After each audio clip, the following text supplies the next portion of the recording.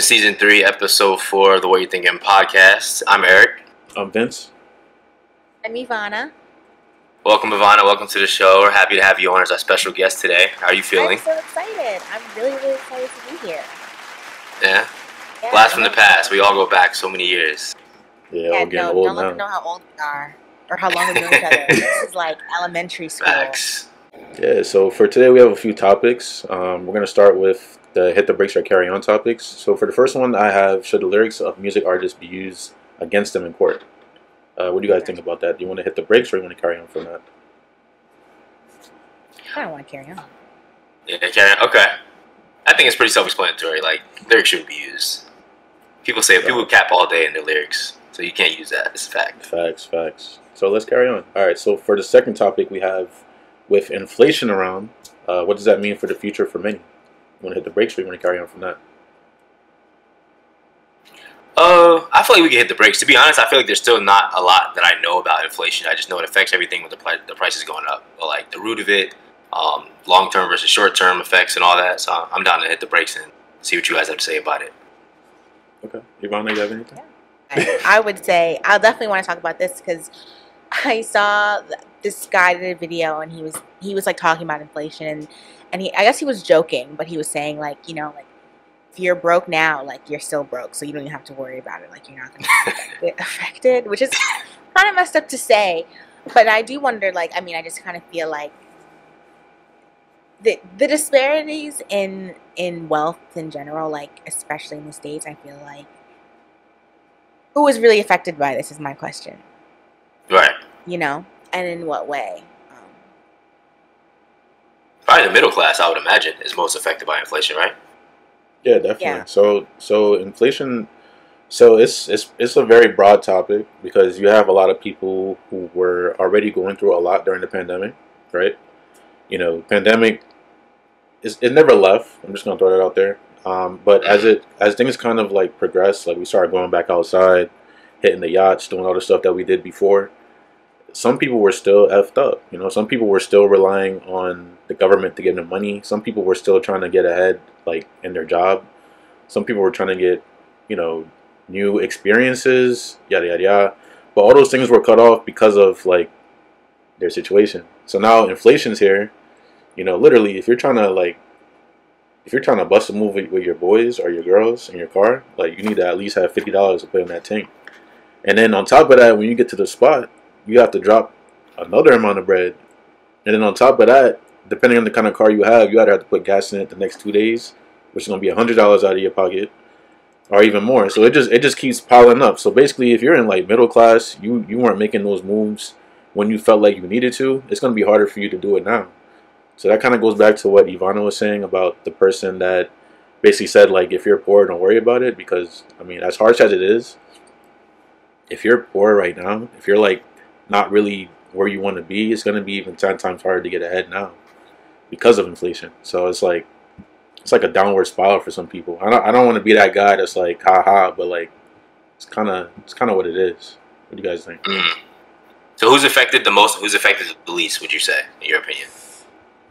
I would say so me personally, like my from my perspective, like you have the middle class and then it's like now it's like you have the lower middle class, you have the medium middle class or like average and then you have like the high middle class slash like you know wealthy.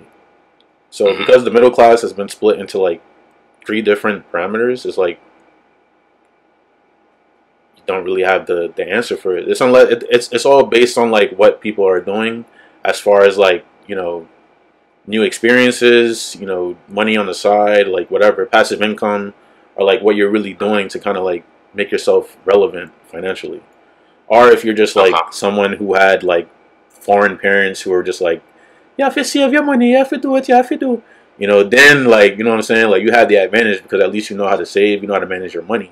But if Right. unfortunately if you didn't have that, and like you spent like your entire 20s, like pushing up on 30 at our big age, like and not really understanding how to manage your finances, it's gonna be 10 times harder for you to get ahead now because of inflation. You buy a if you were to like big heavy on the pause here, but like if you would if you bought a banana like two years ago, well you're dropping like a dollar, a dollar fifty. Now you have to spend at least three dollars for one banana. Like That's crazy.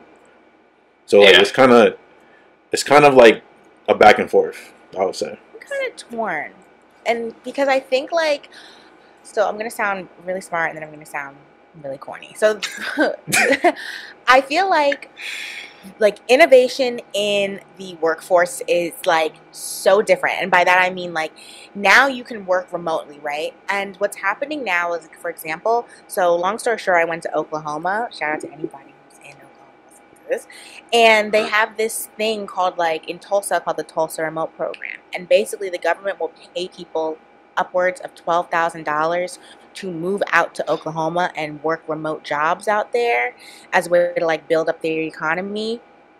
So I kind of feel like.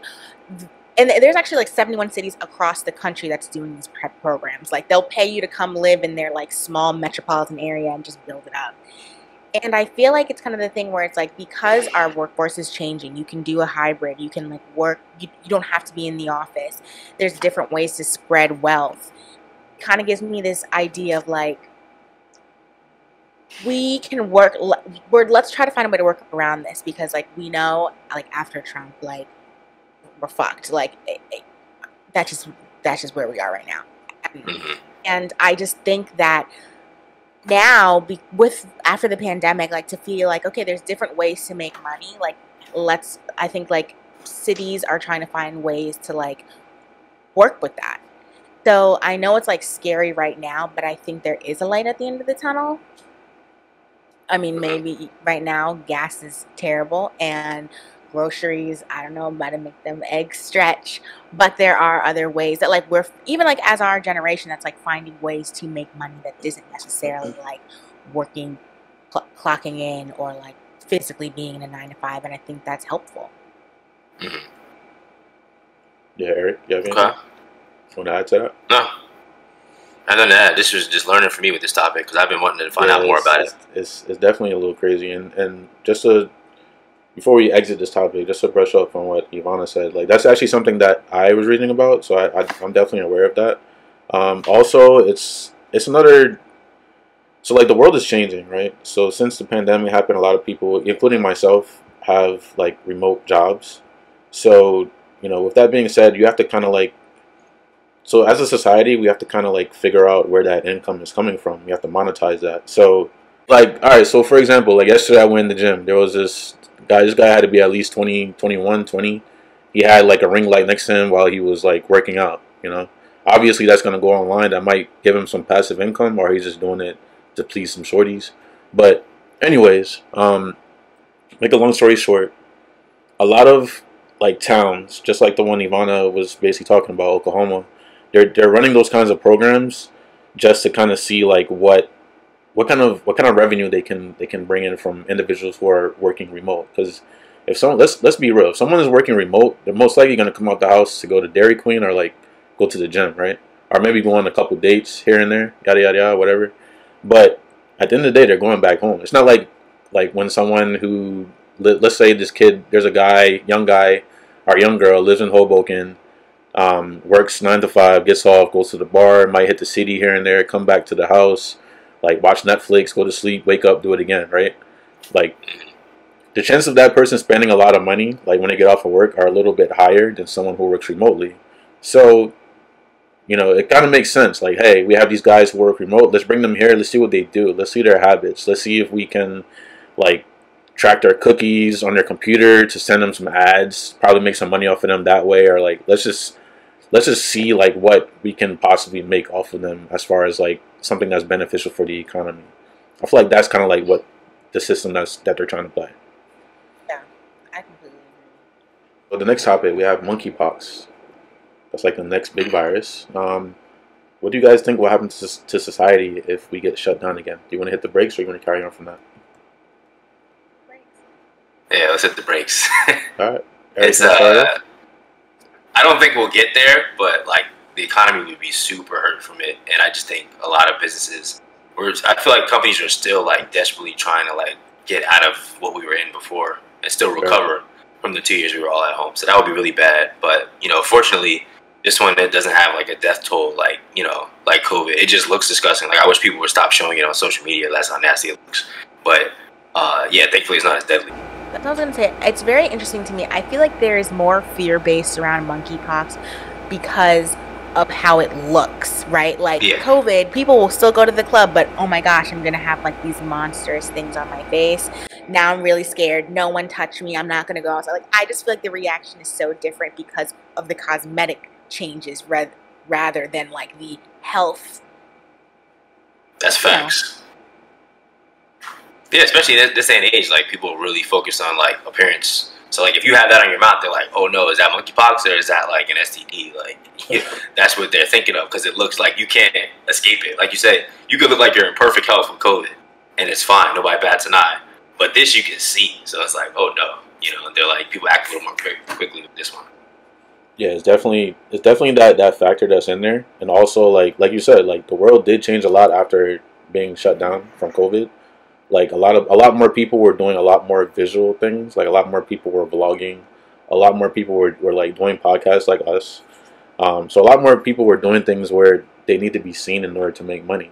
Some people don't have Yeah. a nine to five, you know, and just like you have like these guys on on like like for example, like you have OnlyFans, you have like you have like all these guys who are like putting out these little like courses online where it's like you see them see and like they're doing like tech reviews they're doing this they're doing that so like it's the the visual aspect of it it, like that's i think that's what's really scaring people and honestly like i feel like we didn't we haven't really gotten a fair shot at like starting our adult lives really because like yeah, we came out of high school. Some of us graduated from college, but it's like when we really began doing things, like the world shut down for us, like our generation.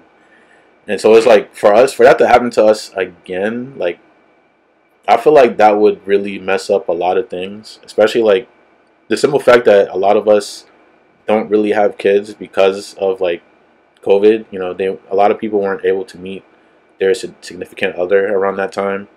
Um, a lot of people weren't really able to like have that those social gatherings. Like, I feel like it would be it would be det- detrimental for a lot of us, you know, if we were to get shut down from this again. Um, but I'm just gonna keep like heavy on the pause again. I'm gonna keep knocking on wood and like hoping that this doesn't, you know, affect us for the long run. Uh, you guys want to add People anything? can't even speak these days without the pause. I know, please. I feel like here's my thing, right? There are people. I think people coming back into like, soc- I'm gonna say back into society. Like, the transition was really weird. So I don't know if for you guys. So I live in DC, and I just feel like once we got out of like quarantine phase, we started going back out. It was just much more aggressive. Like I feel like people had been on pause for so long that it was just like this built up like I don't know if it was anxiety or what, where like fights were just way more prevalent. It, it was just like I feel like if we were to go and shut down again, I don't know how many people mental health wise would be able to Bounce back. it. Like I think it was really Yeah. hard and uh, like and yeah, either people either people weren't meeting anyone and you weren't having kids or yeah, you were having kids and fuck, now you've got this kid and the economy's going to shit and and your mental health is messed up. So it's just like to me it's like I- it definitely probably wouldn't even though I like enjoy being in the crib.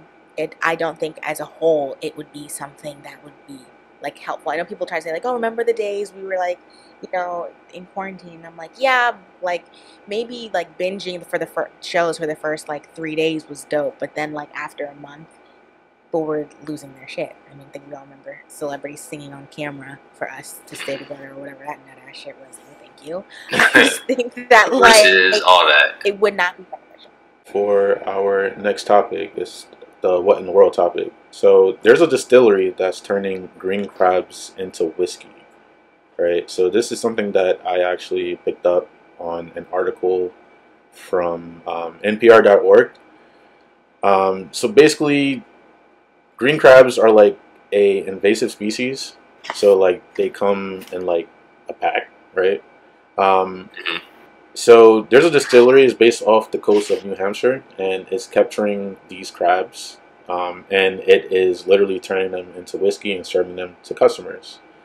So, you know, me personally, like, I stopped drinking like whiskey and beer, all types of all that weird shit. I stopped drinking it personally, but you know, for people, I don't know if you guys still drink like And beer so and stuff like at that. all? Like, I mean, like at all or not? if if I'm out with like a group of friends, maybe I might. But like Mm. me personally, to go to the liquor store and buy beer, like that's crazy. Like I'm not, I'm not about to do that. Um, You know, keep it in the crib. yeah, I'm not. I'm just not into beer anymore. I feel like I've done like I've done that so much. Like when I was much younger, it's like I'm good. I'm good off that. But like, what do you guys think? Would you guys try that whiskey? Like, how do you guys feel about that? Mm, I just feel like that's a weird mix. Crabs and whiskey. I probably would stay away from it unless someone was like, "Oh, try, try, try." Like maybe to get me, catch me in a spontaneous moment. But I wouldn't go get that on my own. I probably need like ten shots of henny before I pick up a glass of that. Ivana, what about you? What do you think? You're twirling your hair like you would try it. So what's We going can on? probably take my silence. This is super pause, no freakiness, but I will try anything once. I wouldn't mind to try it. Now, personally, like I am a tequila person. Like whiskey has never been something that's I've been interested in. But if it were like, oh, to try, you know, try a glass of it just to see what it's like, then I, I'm not super against it.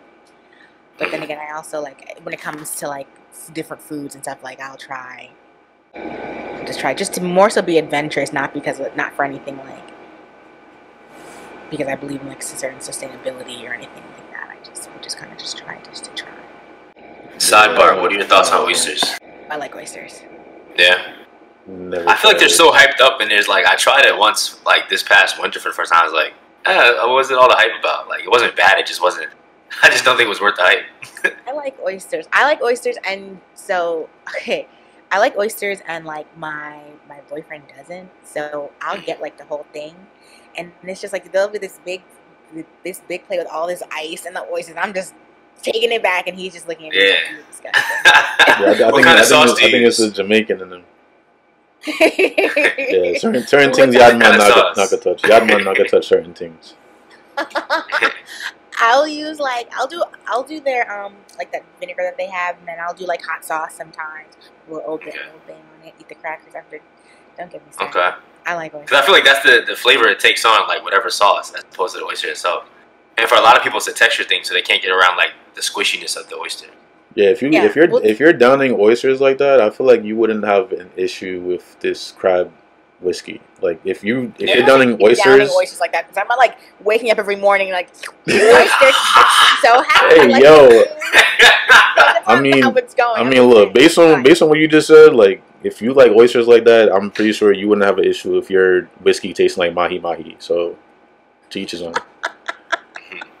Lobster roll whiskey too. While we're at it, Moving on from that, um, so far our hear our hear me out topics, for mine, I have um, is it really a bad thing to make new friends while replacing old ones? Um, do you guys want to say anything before I do? Before we get into that? um, I like you should elaborate first. Okay, yeah. So, you know, for a lot of us, especially where we grew up, you know, map. So, you know, we're just, I'm just gonna leave it at that.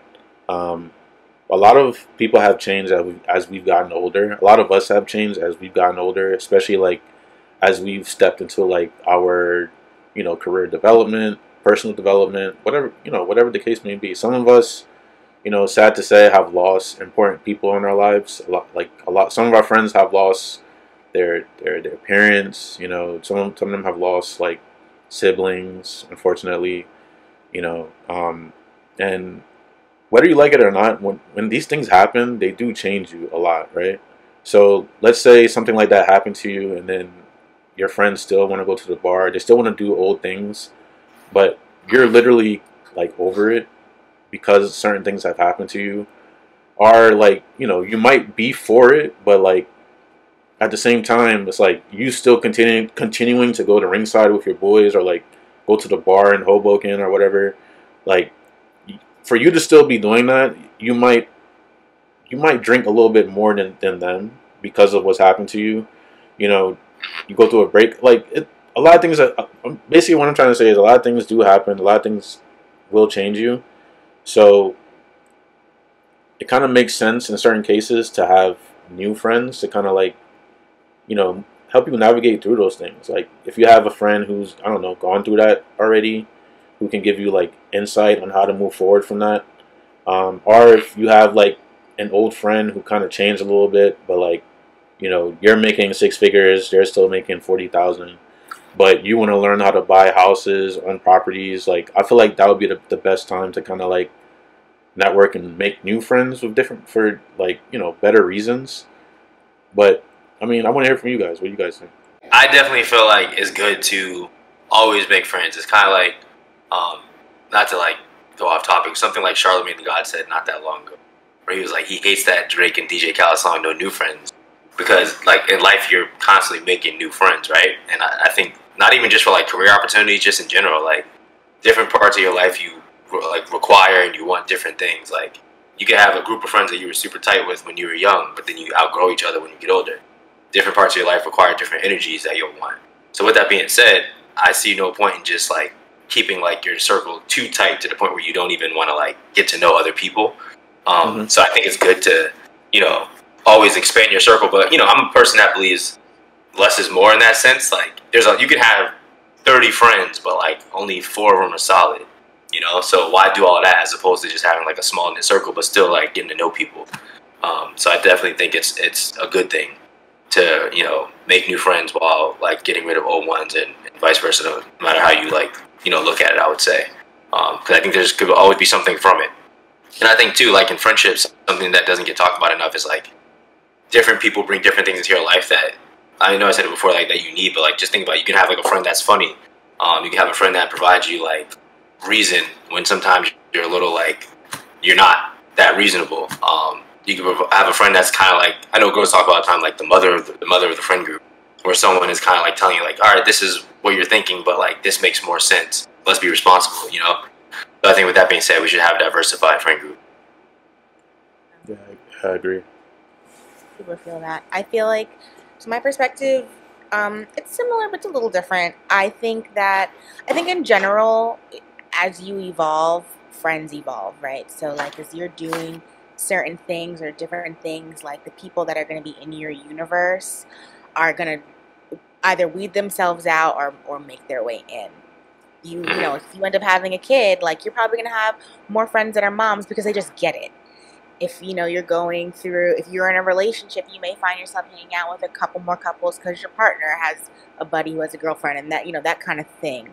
But the same sense, I think that like a lot of times you have to be open to like new experiences to be able to decide whether you still fit with certain i'm to call them tribes so like i feel like sometimes if you stay in like if you you know stay in one place for a really long time like if you don't you know you know move or try different things that you may be into then like you'll only know your really small orbit and I think that that's like I know just to keep it really brief, we're from a kind of a smaller area in New Jersey, and that kind of happens where sometimes people get stuck in the mindset of just only know who's in your vicinity and you never try to go and branch out, so you don't to experience anything else or anyone else. So it's easy to say, "Oh, no friends," because you don't know any better. And even if you go through something personally, if you're going through something personal, but you're still in that same spot, you may feel like something's missing, but you don't even know it because you've never taken the chance to experience it. Um, anything mm-hmm. other than what you're accustomed to. So, like where you're at, the same people you've hung out with since you were a kid. Like, and I can see why people would get into that cycle. I don't like to look at it as getting rid of or replacing because I feel like we don't talk about the fact that like friendships are just as intimate as romantic relationships as your family. Like a friendship breakup, that shit sucks. And that can be hurtful. Like it's not just like, all right, I outgrew you, peace. Like, no, you were with me for certain chapters. So we do have an intimate relationship. There's just more flexibility because I don't know, we're not dating or you're not my cousin or sister. Like, but it's still yeah. just as there's still you know, blood is thicker than water, but sometimes you choose you choose who your blood is, and like I feel like that needs to be considered too. That it's not necessarily like getting rid of somebody or like oh I'm on to new things, so like see you later, I don't care. You still impacted my life, and I think that that allowed to mourn or feel a certain way of about a friendship changing and people going in different directions. Mm-hmm to piggyback off of that, something that out to me is like the closed-minded part. I would say because of our hometown, like we have a unique situation where if we did like, because we can say like as a rule of thumb, you shouldn't keep your circle like too small and not be open to meeting new people. But I think if one was to do that, I would prefer them to come from a town like our town, just because like, there's so many different people from different walks of life that we're such a highly cultured group of people. I would say that are from that area. Whereas like if you're from some town that has like I don't know, let's say some random town in Pennsylvania that has like three people of color, like you know, like if you're gonna be in that tight friend group, there's a whole big chunk of the world you'll never get to know of people that think differently. Um, so I would say it's better to be from like a diverse group if you're gonna keep a super tight circle. That makes sense. Um, and I mean, just to piggyback on that, like, I would say we were definitely fortunate to like grow up in an environment where we were that diverse because, like, even for me growing up, like, one of my best friends, I would say, was like Asian, but I just went, I just did it based. I was friends with him based on his name, right? So it was like it kind of allowed us to see like how different cultures operated and it kind of helped us like even now like as adults like if i meet anyone if i meet literally anyone at a restaurant wherever it is like i know how to have a conversation with them that would go like further than that just that one night or if i go to like a party or a bar like and i talk to like five people like you know next thing you know like we're we're at Topgolf together right so you know the location that we grew up in, like it definitely played a huge role in who we are now. But, but yeah, just to piggyback on what Ivana said, like you don't want to miss those experiences or those opportunities to meet those people from other areas, right? So like, you know, she grew up in, in Mapso as well, but now she's in DC, right? So, you know, over there, you I'm pretty sure you met like dozens of new people. But if you were like, if you were like, oh, I'm from Mapso, like you know, go screw. Like I'm only gonna be associated with people that like I grew up with. Like imagine all the experiences that you know she would have missed out on, right? So it just it just goes to show, like you know, as you get older, or like you know, if you happen to move or whatever the case may be, don't be afraid to meet new to meet new people or make new friends. Obviously, use your best judgment. Just like you know, if you're trying to find a significant other, if you go on that first date and that person is already trying to smack you or like punch you in the face or lips or like hit run you over with their car, like you know like if you step into that relationship, you're stepping into like a Tyler Perry movie basically, right? So just yeah. try to like just try to think about all these things. Try to Why like look for the right. Yeah, exactly. Like look for all the signals and signs in friendship just like you would do in a relationship. And honestly, use your best judgment as you move forward and don't be scared because life is all about those experiences. Imagine going on a first date, somebody try to run over you with their car. That's a bit much. That's yeah, true. I would like to know the story. that was a little alarming, Vince, to use that as an example. true, true. Do you have a story for us? Yeah, let's unpack that. you got real specific. What kind of car? Who almost got deleted by a car? Let's just leave it at that, okay? oh, man. yeah. So, okay, for my topic is something I saw. I think it was like on uh, spiritual, which is like one of my favorite pages. But you see so much like toxicity on there sometimes. Um, this woman was like, she was like, "Ladies, I need to tell you something. Like, you're gonna hate me for saying this, but like, quit coming into a relationship trying to make a man secure your insecurities." And uh, that was like interesting and like really heavy for me. Uh, I agree though. Like, I think not just women. I think just people. Like, I think there's a difference between being an insecure person versus having insecurities. Like a lot of people have insecurities. Um, there's always something that people think could be better, and like they don't want people to know about their lives. Um, but when you walk into a relationship, I feel like you shouldn't like put that on them to be like, okay, you're supposed to secure this. Like I genuinely feel like in a relationship, let alone like a marriage, for example, you know, someone's choosing to have you in their life despite your quote unquote flaws but don't make it their like that the criteria that they have to make you forget about that insecurity. No, like they're loving you in spite of it, but I think if you put that on them as like, okay, if this box isn't checked off, they're an insufficient girlfriend or insufficient boyfriend or husband or wife. I don't think that's fair to do. Um, but I was wondering what you guys' thoughts were on that one. I agree because I don't think that there's a perfect partner, so we can just start right. there. there. There's never, you're never going to be meet like someone that's going to be hundred percent perfect. Like if you can find someone that's like eighty five percent, then you your compromise is that other fifteen percent that they may be lacking. Mm-hmm. But you know, don't you think maybe I just want to ask you all that it would take like it would take a lot of self awareness from a person to know that they're putting their insecurities or they're bringing their insecurities into the next relationship. Oh yeah, absolutely. Yeah.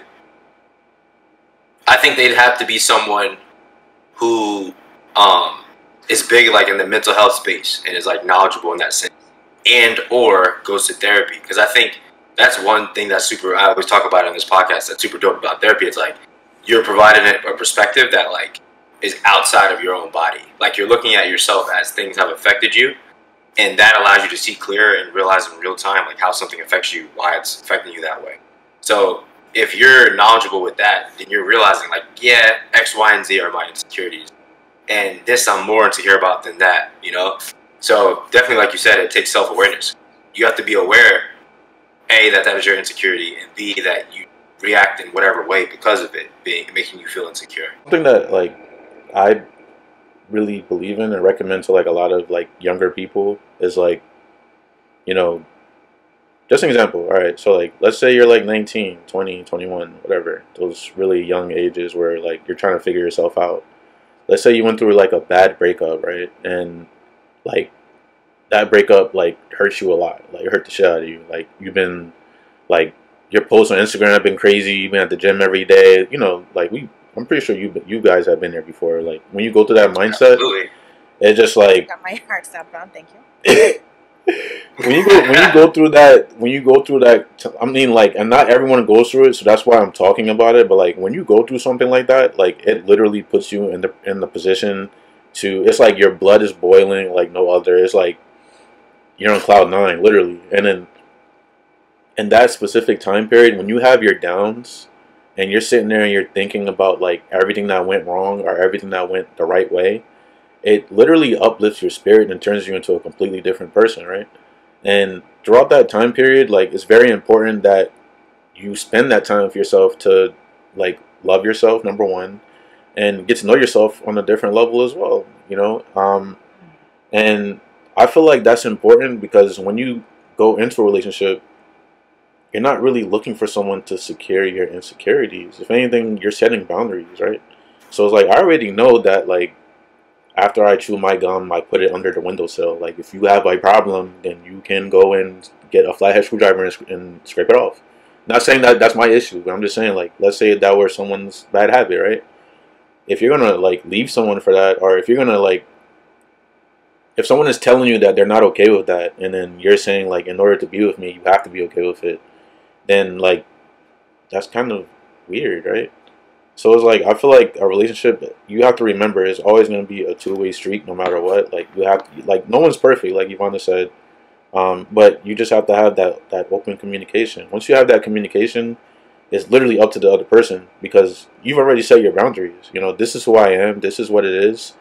Um, I'm not dependent on you to make me feel better about what I'm doing, but I would definitely like to hear that you don't like that I have this bad habit. So maybe I can think about like changing it if need be, right? I feel like so I I agree and I also think like trying to think realistically. I feel like sometimes people if you grew up, right, and you grew up in in and maybe your parents like they didn't they prioritize like school and not understanding how to navigate relationships or maybe you grew up and like your parents split up and didn't communicate correctly like okay this yeah me and me and dad didn't work out but this is how you should treat a, a woman or this is how you should treat a man whatever the case may be. I feel like sometimes if it's not you weren't taught it then you almost have to relearn it or learn it for the first time as an adult and then you end up making mistakes when you're 25 26 27 or you end up staying in i mean think about the fact that like our generation has normalized situationships is insane. It has to come from some sort of what we saw and then how we attribute it to now. So even though I yes, of course, I would want like at, at our age, I, I want to I would want a partner that like can communicate. I would want a partner that understands understands me and I understand them and like whatever, what have you. But I'm also not surprised at how difficult dating is for us. No? Yeah. Because we all think we got a million and one options.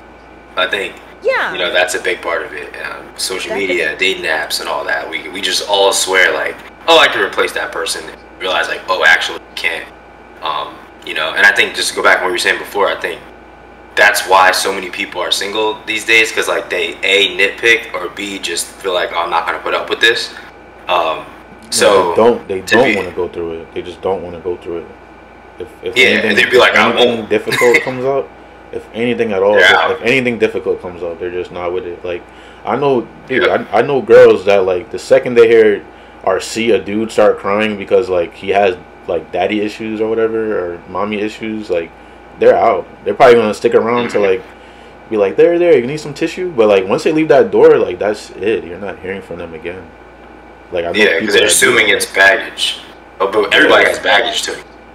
that also comes in like to like just the black community and like how we deal with black masculinity. Like I I feel like like uh, a I I I would almost say, and I mean I, I would like to know like if, if you were to, if a were a white couple and they were to see their white boyfriend crying, would it be that same thing? Because I feel like men, especially black men, from like childhood, are conditioned to no, you be a man, you don't show your emotion. Like so, if as a black woman, if I rarely see that, I do almost like a, a fight or flight or freeze type of situation.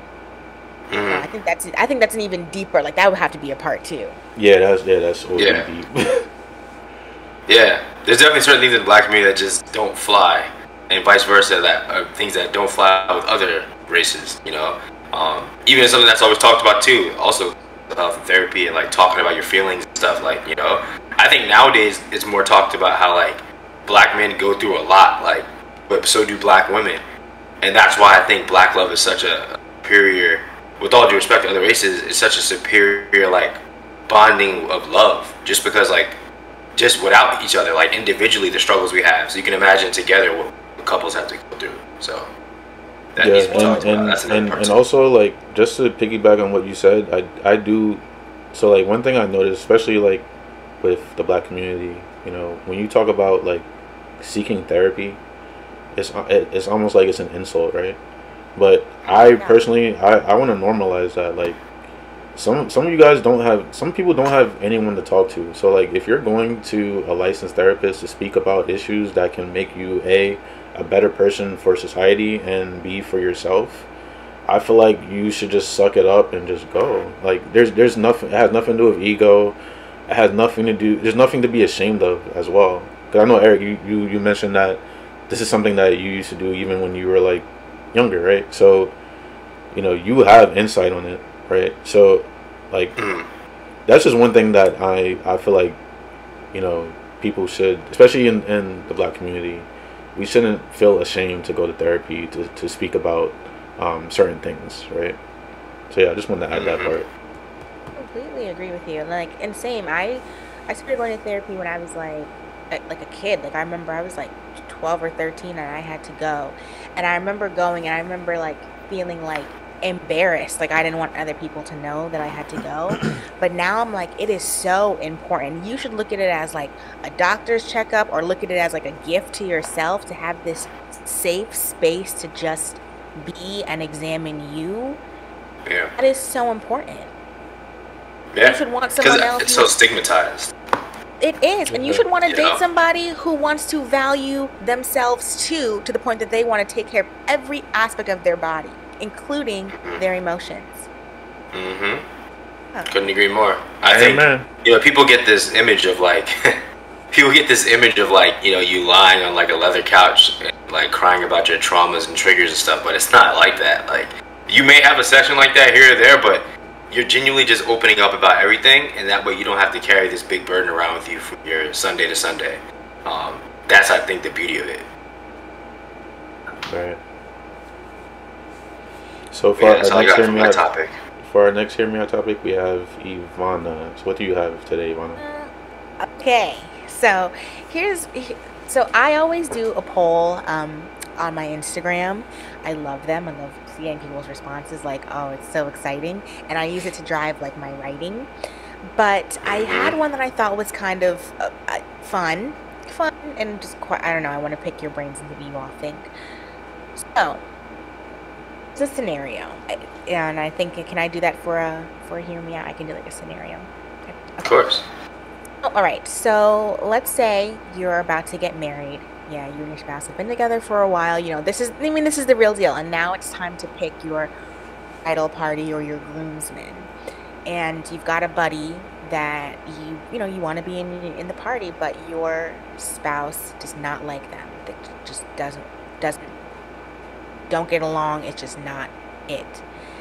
And your spouse basically says, like, you know, I don't feel comfortable having them our wedding. Do you do? Do you do? And then I want to also know why. Like, why is that your decision, whatever it is that you choose? Uh, I, you want me to go first, Vince? Yeah, please. I would say, well, it depends. I think on why they don't like them. If it's just like a, oh, they rub me the wrong way, then I'd be like, sorry, baby, but I got you, you gotta get over that one. Um, just because like this person has been in my life as a significant person for a long time, so I'm not going to disrespect them by not like in the group.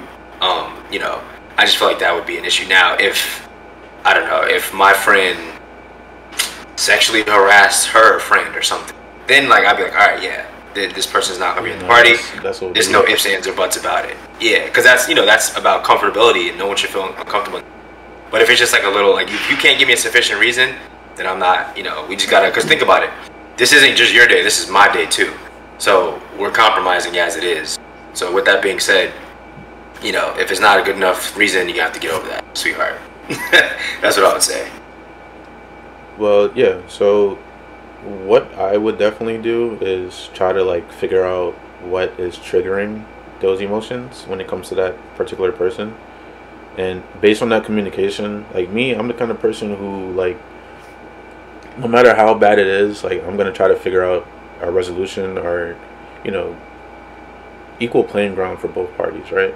So I would I would ask those questions and I would see like, hey, you know, based on what you just told me, do you think it would be do you think that it would like it would be ideal for you two to come together to speak about this and like try to find equal playing ground on it? Or like depending on what it is like the example you mentioned if it's something that's that bad i personally would like side with my bride and i personally would reach out to that person and let them know like you know unfortunately you know we're, we're not going to be able to move forward with this idea you know but you know i i wouldn't like bash the person but i feel like if you're choosing to marry someone and that person is like mentioning things that are very significant to them and important to them you kind of like as a man or like as a bride or a woman you definitely have to listen to what that person is saying because like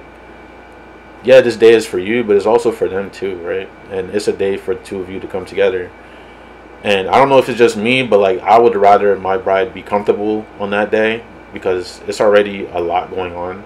Like the pic like from the pictures from like i have i know i'm gonna i would have anxiety in that particular situation because literally all the spotlight is on us all day long.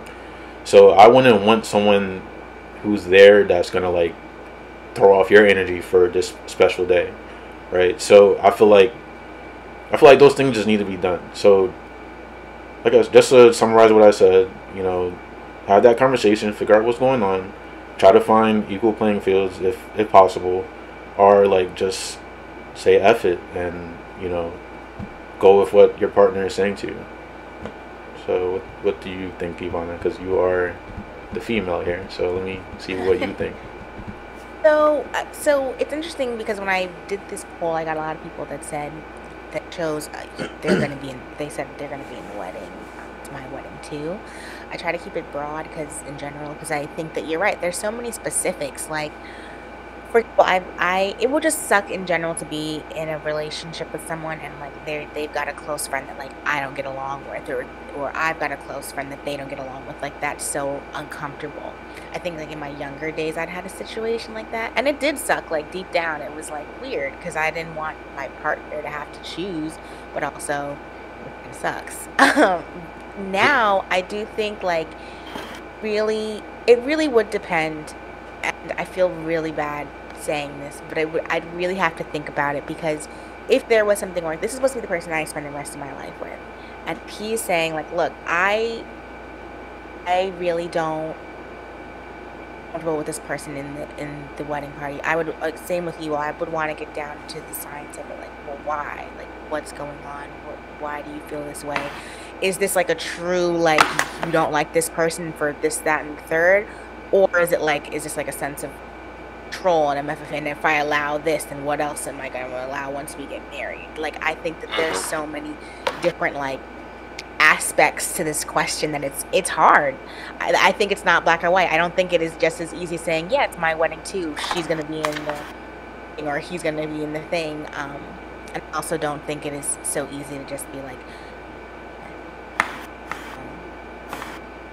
no, I'm not gonna let my friend be in the in you know in our bridal party. But it is a lot. Like weddings are a lot of pressure. It's a big day, and I would I want my day to be full of peace as much as I can. Yes. Because essentially, that's asking you to end a friendship. Uh, You know, Yeah, exactly. because like that person's gonna look at you differently, probably not be around you like that if you're like excluding them.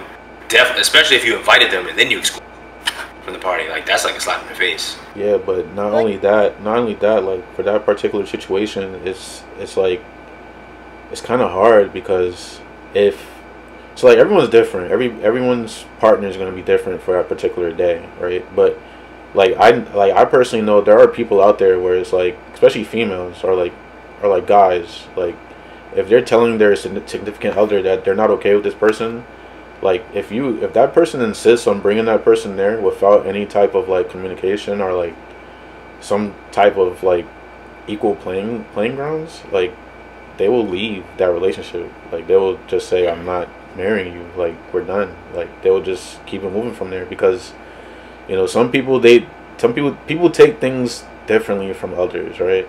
So like I might be passive about something but there is someone out there who is like yo, this is the equal to them giving giving you their car and you coming back with it totaled, right?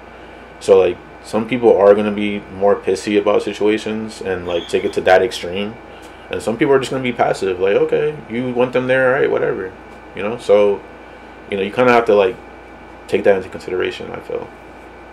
I think it's a very big testament to like how you and your partner communicate.